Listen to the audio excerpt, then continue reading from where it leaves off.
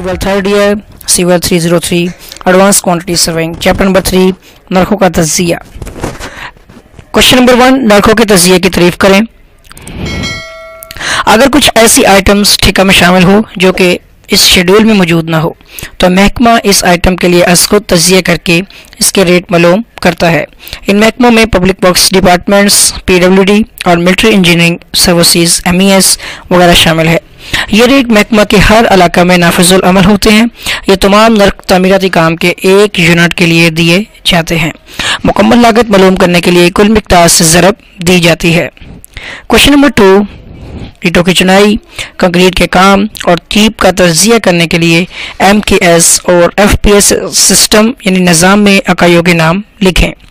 Brick work के लिए M K system में metre cube one metre cube होगा और एफ़ पी एस में हंड्रेड सी एफ़ टी और कंक्रीट वर्क के लिए वन मीटर क्यूब और जबकि एफ़ पी एस सिस्टम में हंड्रेड सी एफ़ टी और पेंटिंग के लिए मीटर स्क्वायर जबकि hundred square feet S F T question number three schedule of rates की तारीफ़ करें.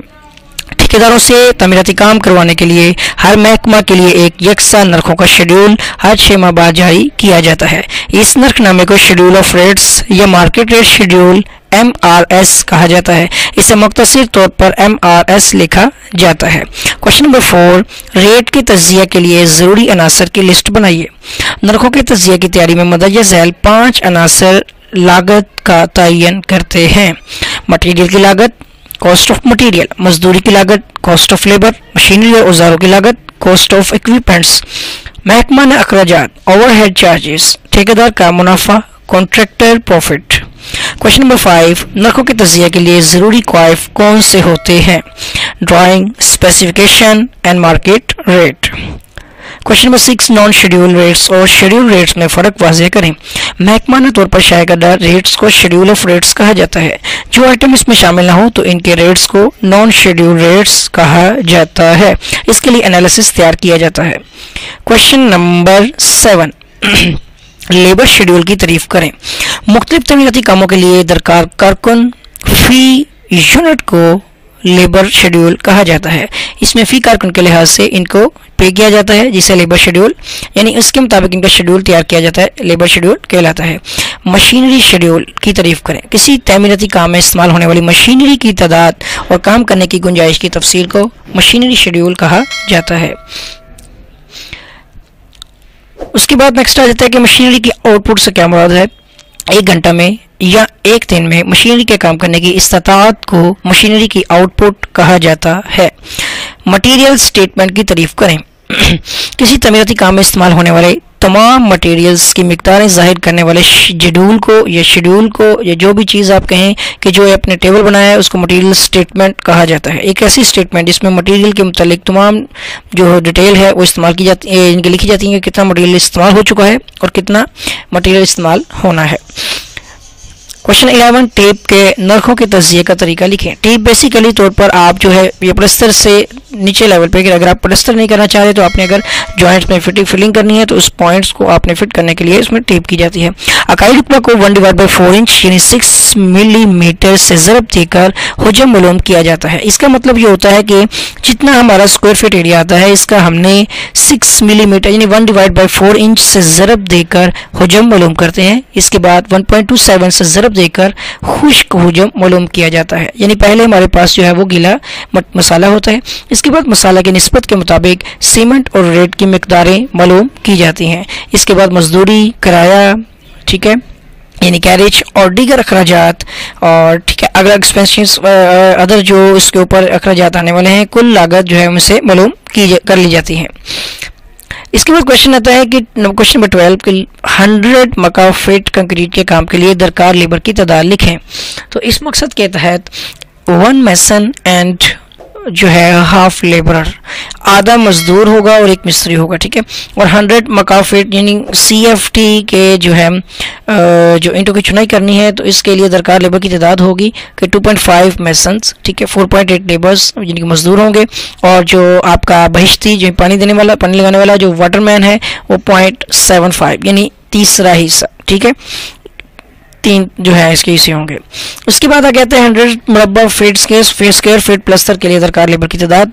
तो अगर सौ स्केयर फीट का जो अगर आपके पास कोई रुकबा है तो उसमें आपने प्लस्तर करना है। तो इसके लिए आपको जो है तकरीबन तीन बटा चार मैसन होगा, यानी, ठीक है ना per day number of day के लिहाज से, ठीक है? यानी एक दिन में ये काम हो जाएगा एक मिस्त्री के से और लेबर आपकी जो है वो भी एक अदद है, एक नंबर पर डे के हिसाब से। हंड्रेड जो आपका मुरबा फिट टीप के लिए जो दरकार होता है तो वो भी एज इट इज़ उसमें, जैसे कि आपने प्लस्तर करना है, ठीक है? इसके बाद आके आ जाता है हंड्रेड मुरबा फीट सफ़ेदी के लिए डिस्टेंपर करने के लिए तीन कोर्स करने हैं लेबर की तादाद लिखें।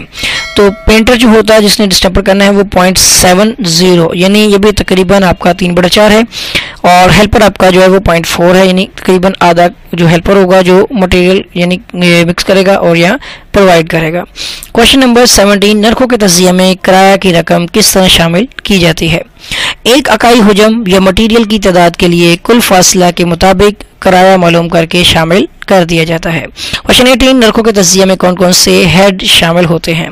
Material cost labour cost and carriage या तो मटेरियल की एक लागत लागत आएगी इसमें और मजदूरी की लागत आ जाएगी। इसके अलावा कैरेज की मटेरियल लेके आना जाना, ठीक है? Question number nineteen joinery work से क्या मुराद है? इमारत में इस्तेमाल होने वाली लकड़ी की चीज़ें ज्वेलरी वर्क कहलाती है, ठीक है? और इसके अलावा आगे क्वेश्चन आता है क्वेश्चन नंबर ट्वेंटी हंड्रेड मका फिट यानी cubic feet C F T into की चुनाई के लिए नरखों का तजिया करके मटेरियल की मकदारें मालूम करें। सीमेंट के मसाले की नस्बत एक छः है। तो चुनाई कर रहे हैं आप, एक छः की रेशो से कर रहे हैं तो यूनिट आपके पास हंड्रेड सी एफ़ टी है, ठीक है? हंड्रेड क्यूबिक फिट है रेशो आपकी वन सिक्स है, ठीक है? मोटर आपका जो है वो थर्टी सी एफ़ टी बनेगा, इसका थर्टी परसेंट सैंड आपने निकालनी है ब्रिक्स ब्रिक्स निकलेगी आपकी के हंड्रेड सी एफ़ टी में, वैसे भी तेरह सौ पचास इंटें लगती हैं। सम ऑफ़ रेशो आपकी सेवन हो जाएगी। सबसे पहले आपने मोटर निकाल, सीमेंट निकालना है, ठीक है ना, मोटर में। थर्टी सी के अंदर आपका जो सीमेंट है वो थर्टी परसेंट, यानी कि आपका टोटल मोटर है। तो थर्टी सी मोटर में आपने करना है कि ratio of cement and ratio of sand तो रेशो ऑफ़ सीमेंट वन है और रेशो ऑफ़ सैंड जो वो सिक्स है। तो सबसे पहले सीमेंट निकालना है तो ratio of cement divide by sum of ratio जो सेवन है मल्टीप्लाई बाय जो आपका वॉल्यूम ऑफ़ मोटर है, वो थर्टी है। इसे मल्टीप्लाई कर देंगे फोर पॉइंट थ्री आपके पास सी एफ़ टी में वॉल्यूम ऑफ़ सीमेंट आ जाएगा। जिसको आपने वन पॉइंट टू फाइव से डिवाइड करना है। इधर आपने वन पॉइंट टू फाइव से डिवाइड करना है थ्री पॉइंट फोर फोर से आपके तीन बैग जो है वो सीमेंट के लगेंगे। ढाई बैग तकरीबन, साढ़े तीन बैग लग रहे हैं। और सैंड आपका आ जाएगा यहाँ पे ratio of sand divide by sum of ratio multiply by volume of mortar तो ये आपका 25.7 यानी 26 सीएफटी जो है ना, आपकी सैंड लगेगी, ठीक है? इसके बाद क्वेश्चन नंबर 21 जिसमें 10 स्क्वायर फीट जो है उसका एक रकबा है 12 मिलीमीटर मोटी थिकनेस के साथ प्लस्तर करना है आपने। 12 एम का प्लस्तर कर रहे हैं, दरकार मटेरियल की मकदारें आपने मालूम करनी है। आदि का प्लस्तर कर रहे हैं आप ठीक है? और इसके साथ साथ आपका जो है वो रुकबा है टेन मुरबा फिट। सबसे पहले यूनिट है टेन स्क्वायर फिट। रेशो आपकी वन फोर की है, ठीक है? Sum of ratio one plus five, four करेंगे तो फाइव हो जाएगी। और वेट वॉल्यूम आपका जो है ten multiply by twelve divide by divide by आपने करना है इसमें थाउज़ेंड। तो आपका मीटर में बनेगा। वो ट्वेल्व आपका मीटर स्क्वायर है, जबकि twelve M M M millimetre है, उसको हंड्रेड मीटर में कन्वर्ट करने के लिए थाउज़ेंड पे डिवाइड किया है। तो point one two metre cube या क्यूबिक मीटर आपका जो है वो वॉल्यूम है। ये कौन सा वॉल्यूम है? वेट इसको आपने ड्राई बनाना है one point two seven factor से मल्टीप्लाई कर देना है। फिर इससे मल्टीप्लाई करने से आपके पास जो है ये वेट जो है वॉल्यूम से ड्राई वॉल्यूम में कन्वर्ट हो जाएगा। अब आपने सीमेंट और सैंड इसकी रेशो फाइंड आउट करनी है, ठीक है? तो उसी तरह से आपने इसको पॉइंट ज़ीरो थ्री फाइव से डिवाइड करना है, क्योंकि एक सीमेंट बैग का volume point zero three five cubic metre होता है, जबकि फिट्स में one point two five one point two five square feet sorry cubic feet होता है सी एफ़ टी ठीक है?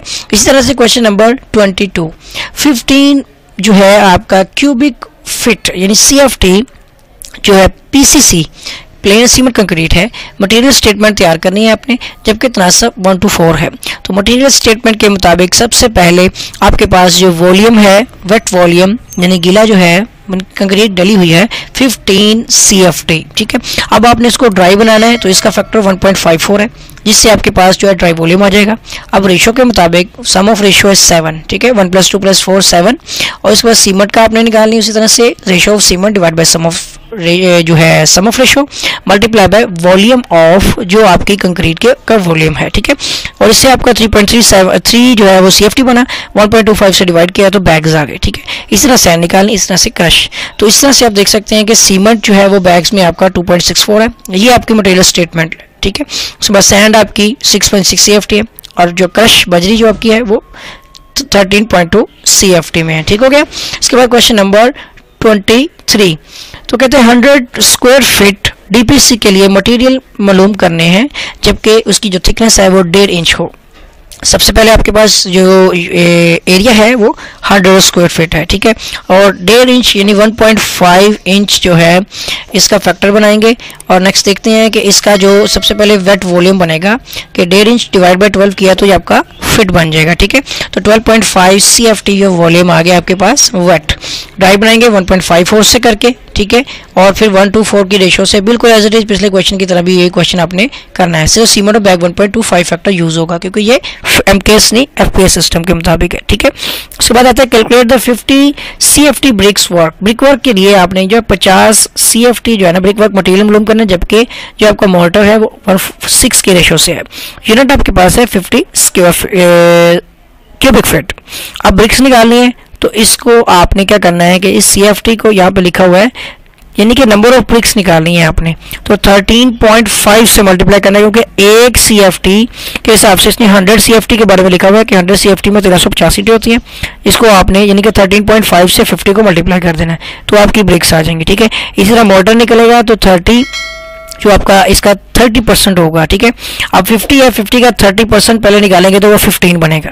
अब 15 सी एफ़ टी के हिसाब से वही रेशो लगाएँगे सम ऑफ़ रेशो उसके बाद ratio of cement ratio of sand ratio of cement divide by sum of ratio multiply by volume of जो आपका मटेरियल है, वो इसका 30 परसेंट है। 50 का 30 परसेंट फिफ्टीन होता है। तो 13 परसेंट ये ले लिया। 30 परसेंट ले लिया, आपने इसको मल्टीप्लाई किया तो आपके पास ये वॉल्यूम ऑफ़ सीमेंट आ गया 1.25 से डिवाइड किया तो सीमेंट बैग्स आ गए।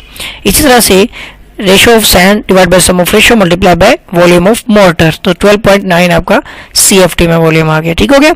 तो इसके बाद आप ए, इसमें क्वेश्चन आता है लास्ट क्वेश्चन है इस चैप्टर का क्वेश्चन नंबर 25 एक सड़क के बेस की मटेरियल की मकदारें निकालें। अब बेस का मटेरियल निकालना आपने। अगर सड़क आठ किलोमीटर लंबी यानी लेंथ आपके पास है एट किलोमीटर फाइव मीटर चौड़ी है।